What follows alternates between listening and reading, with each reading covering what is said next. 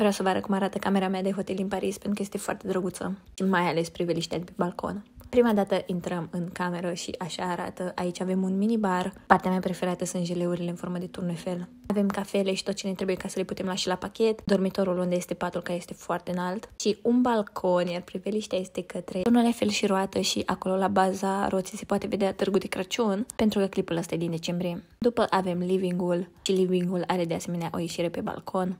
Baia care are chestia asta în tapam foarte drăguță și o lumină foarte bună.